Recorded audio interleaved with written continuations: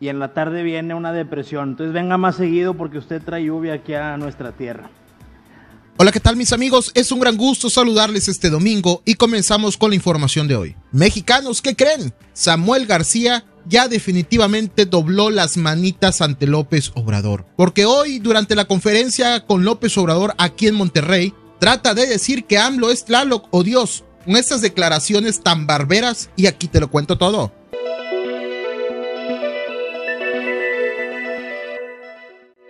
Antes de continuar, te recuerdo darle me gusta a este video para que esta información llegue a más personas y se enteren de la realidad. Bueno, pues este fin de semana López Obrador estuvo aquí en Nuevo León, en donde se reunió con, con Samuel García, este gobernador que apenas va a ser un año en el poder y que definitivamente es un fracaso su gobierno. Recordemos mexicanos cuando Samuel decía que López Obrador era un peligro para México, cuando decía que por eso debía ganar él aquí en Nuevo León para frenar a Morena, para frenar a López Obrador. Puedo hoy afirmar que este país sí está en peligro.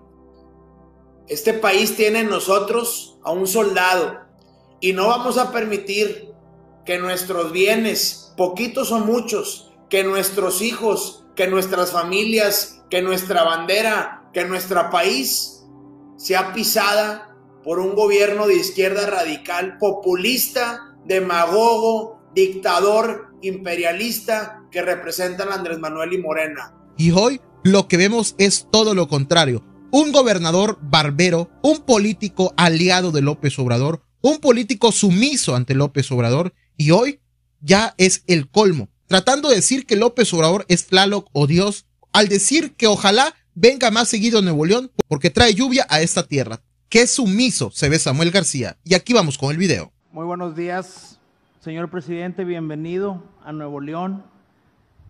Muy contentos de recibirlo, además con lluvia.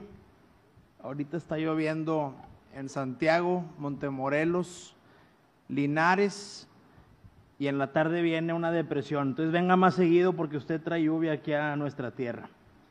Les que estamos muy contentos de contar con mucho apoyo del gobierno federal para lograr varios de los proyectos. Y bueno, mexicanos, ahí lo tienen.